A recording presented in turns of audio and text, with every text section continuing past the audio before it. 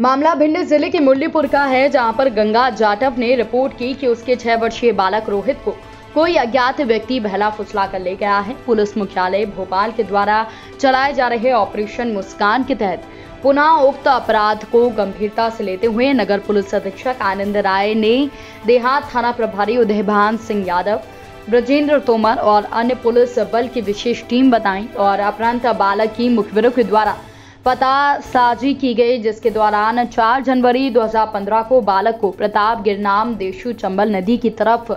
ले गए थे। मुखबिर की सूचना पर आरोपी को थाना दिमनी जिला मुरैना में पकड़ा गया। बारीकी से पूछताछ की गई तो वर्ष 2001 में उक्त मृत बालक के परिजनों ने उसकी भांजी की हत्या की थी, जिसकी रंजिश का बदला लेने के लिए उसने अपने साथियों के साथ मिलकर छह वर्षीय मासूम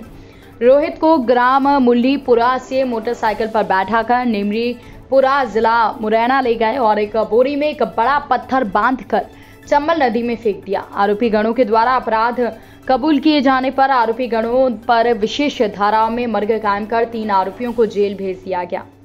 फरियादी से पुनः चर्चा की गई थी। फरियादी के द्वारा जब पूछताछ की गई, पार्टी को रवाना किया गाँव में तो वहाँ पे कुछ लोगों ने बताया कि यहाँ पे बच्चा दिखा था। उन्होंने दूसरी तौर पर बताया कि हम भाई, हम अपना नाम नहीं आने देंगे, लेकिन हम आपको बताते हैं प्रॉब्लम फिर उसके बाद जब उनसे पूछा गया, हिकमत अमले से पूछा गया तो उसमें ये बात निकल के आई। फिर कड़ी दर कड़ी जुड़ती चली गई उस प्रकार से हमने जोड़ा हुआ एक लंबा समय, छह साल एक लंबा समय होता है, क्या कहीं ना कहीं पुलिस को रुकावट तो मिली है इसको लेकर इसमें काफ़ी हम लोग को मेहनत करनी पड़ी, काफ़ी बुद्धि लगानी पड़ी, क्योंकि ये इतना आसान नहीं था क्योंकि इसमें डेड बॉडी अभी तक नहीं मिली है। लेकिन अपराध, अपराधियों द्वारा किया गया और अपराध जो होता है, वो छिपता नहीं है, जिसने भी जो किया है दंड उसको भोगना पड़ता है। इसी कारण ये व्यक्ति जो बच्चा था छः साल का बिल्कुल इनोसेंट था इसकी कोई गलती नहीं थी। और उसको इन्होंने बड़ी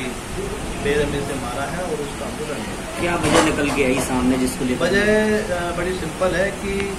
जो महिला थी जिसकी बच्ची के साथ में रेप हुआ था उसी महिला और जो उसमें आरोपी थे उन्हीं के परिवार के बच्चे को इन्होंने